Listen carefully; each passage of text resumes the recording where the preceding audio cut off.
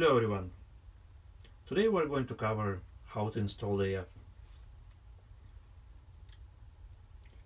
Basically what we do, so we have to go into the Apple Store and Google Play and uh, in the search box we either can type Agro seeding rate calculator or seeding rate calculator or under of uh, each video you'll find a link where you can click on it and it will redirect you right to the uh, either Apple Store or uh, Google Play.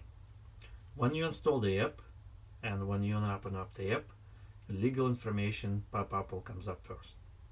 So legal information pops up will uh, you will see that only once in 24 hours.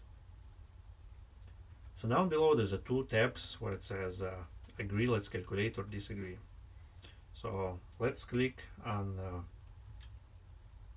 agree app when we click and agree, the next pop-up pop comes up and says trial period. So you still have seven days trial period to continue using this app or you could purchase the full version of this app. So uh, I would suggest to uh, click on the continue trial and go over the app and see all those little all the features everything is unlocked. There is nothing is hidden. So basically you have the four, seven days of using that full version. So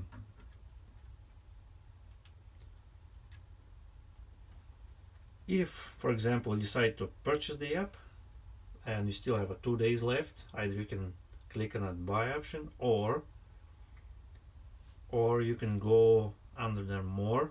There's a little bit more tab when you click on the more tab this page comes up.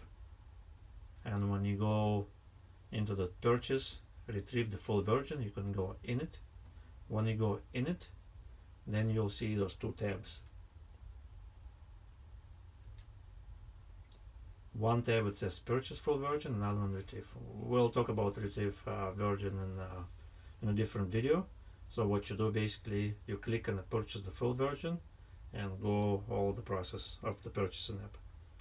When you purchase the app, when the purchase uh, app completely purchased, the next screen comes up as the thank you. You already purchased the full version. So now the full version is purchased. That's pretty much it how to install the app in this video. And thank you very much for watching this video.